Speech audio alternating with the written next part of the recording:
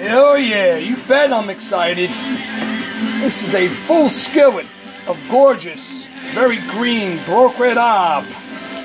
Fresh cloves of garlic, sliced in dice, spun around. Extra virgin olive oil, sauteed broccoli rabe. Over here is the pasta water. Having a nice thin spaghetti for twirling. Broccoli rabe and my sausage. Sweet, beautiful Italian sausage links, already charred, ready for slicing. Back to the broccoli rabe.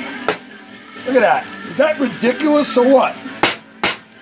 Down the road on a Wednesday night.